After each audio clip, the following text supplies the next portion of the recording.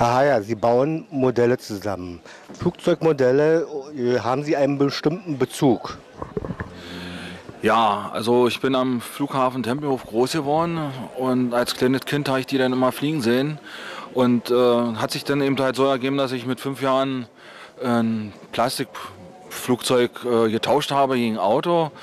Und äh, ja, das war das Erste. Und danach war der äh, Wille eigentlich da, mehr zu haben.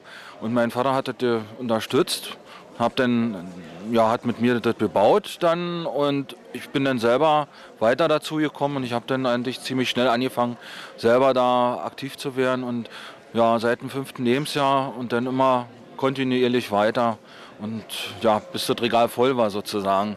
Nicht? Und da musste man sich was einfallen lassen.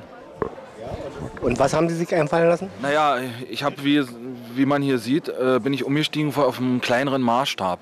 Denn früher, wenn man anfängt, dann hat man ja noch nicht so viel Ahnung. Man hat größere Modelle und das nimmt auch recht viel Platz weg. Ne?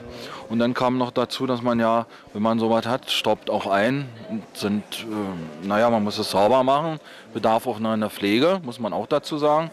Und äh, naja, dann bin ich eben halt umgestiegen auf die 144er Modelle. Die sind schön klein. Es ist zwar von, von den Teilen her nicht so aufwendig wie diese größeren Flugzeuge, aber trotzdem, man muss anständig sauber, ordentlich bauen, damit es auch ein schönes Modell wird.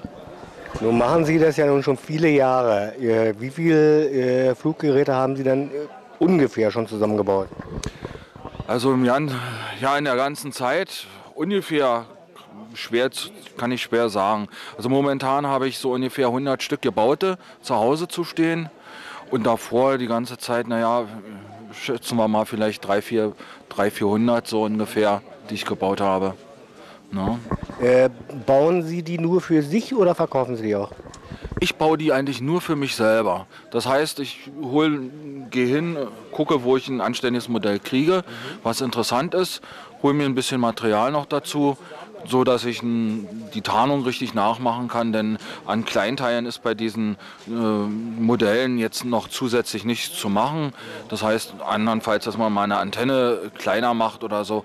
Aber ansonsten äh, hole ich mir dann eben halt Material, so dass ich eben ein Flugzeug richtig anmalen kann und so weiter. Das ist dann alles. Also ist es, äh, ist ein ganz persönliches Hobby? Es ist für mich eigentlich ein ganz persönliches Hobby, aber das teile ich mit vielen anderen und darum bin ich dann auch im Verein drin, eben halt um an Material zu kommen und um Erfahrungsaustausch zu haben, wie kann man wo was besser machen und so weiter und auch die Sachen, die man selber erlernt hat, weiterzugeben. Ne? Nun können Sie ja ruhig mal sagen, äh, in welchem Verein Sie sind und wo dieser Verein äh, seine Ansprechpartner hat. Ja, der Vereins ist der Modellsportclub Hans Grade. Der ist in ähm, Berlin Mitte. Es gibt also, wir treffen uns jeden Mittwoch, aber an zwei verschiedenen Stellen. Und Anlaufstelle wäre eigentlich äh, nachzufragen. Da habe ich Telefonnummern, wo man einfach mal anrufen kann und nachfragen, wo dann gerade speziell diesen Mittwoch der Termin ist. Und äh, sage ich mal einfach einmal die Telefonnummer 449 7670 oder die 292 0463. Da kann man einfach mal nachfragen und das geht abends um 19 Uhr los und dann mit Open End und ist ein, einfach eine lockere Runde und wir treffen uns. Wir bauen keine Modelle da, das hat keinen Sinn, aber Erfahrungsaustausch so. Material wird angeguckt und, und, und. Neue Modelle betrachtet, also die Kästen, die jetzt kommen von den Herstellern und, und, und, was noch dazu gehört.